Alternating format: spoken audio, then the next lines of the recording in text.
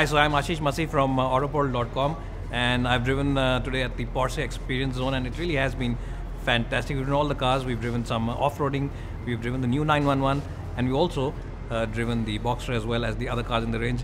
And I have to say that if you are in the market for sporty cars or for cars which are keen drivers cars will put a smile on your face, you should definitely check out uh, Porsche's entire range.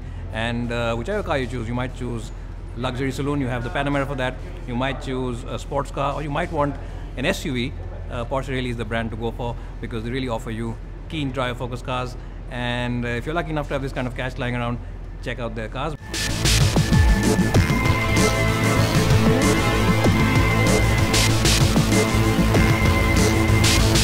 Well, so here we are driving the new 911, and of course, we are at the Budh International Racetrack. Now, I won't talk too much, I'll just show you what this car can do on the racetrack. It is a phenomenal car in terms of uh, its handling prowess. It really is uh, brilliant, and uh, it just uh, hugs the road and it just keeps hugging the road. In fact, it's a lot more stable than uh, your ex girlfriend ever was, and it really is a phenomenal package. It is by far the best sports car that money can buy and if you have this kind of money lying around with you then you should definitely check it out because not only is it a sports car. It's also a very practical sports car so you can actually use it on a day-to-day basis. And if of course you are the CEO of a big conglomerate a big multi-crore company you can of course buy this car and drive it up to that board meeting. But I'll shut up now and just let you listen the exhaust note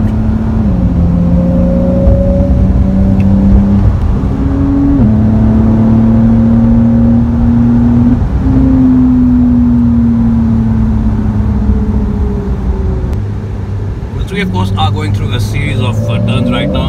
Of course at the F1 track in the Great Noida and I have to say that this car is really, it's got uh, that Porsche DNA in it. It's phenomenal around corners, the handling is sublime and it really does feel very very neutral in terms of the handling and uh, the power output is just brilliant. It really is fantastic uh, and of course if I am uh, saying fantastic too much then I do apologize in advance because it really is a fantastic product. So I just said, if you want a practical everyday sports car, this is the one to go for. It also gets a lot of comfort features.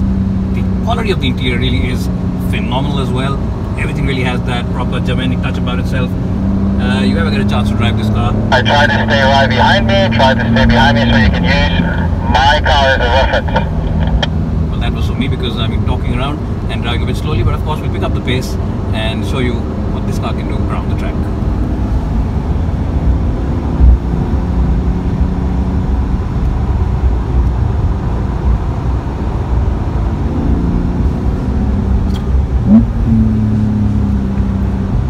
Now this car, when you take it around the track and uh, you decide, of course, to throw it into corners, it's very difficult to break traction. The grip level from the tires is absolutely phenomenal. In fact, it'll make even a novice driver or an average driver, someone like me basically, feel like he is an expert, feel like he can actually drive the sports on the track.